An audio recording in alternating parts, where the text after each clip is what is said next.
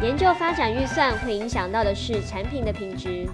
而维护支出预算是和每一期的产能以及材料转换系数都有所关联。我们能参考经营环境中的内部企业状况表，在这个表格中，我们可以得知研究发展与维护支出影响的资讯。在此和大家说明，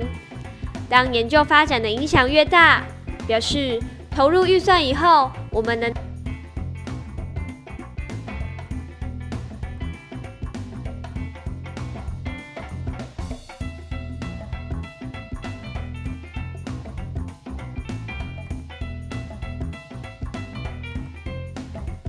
在这里也要提醒各位，维护支出预算的投入需先参考资产负债表中生产设备账面价值。你所订定的预算不能超过表中的金额。此外，维护支出预算则需考虑到资产负债表中的现金是否足够，并且每期投资建议不超过业主权益的一半。